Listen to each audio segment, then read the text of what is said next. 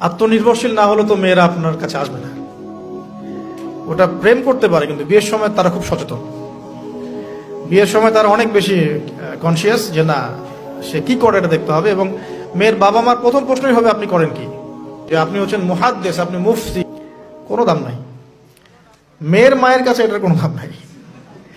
মেয়ের বাবার কাছে এগুলো কোনো সাবজেক্ট না ইল্লা মাশা আল্লাহ এর বাইরেও কিছু মানুষ আছেন। কমন একটা ট্রেন্ড বললাম।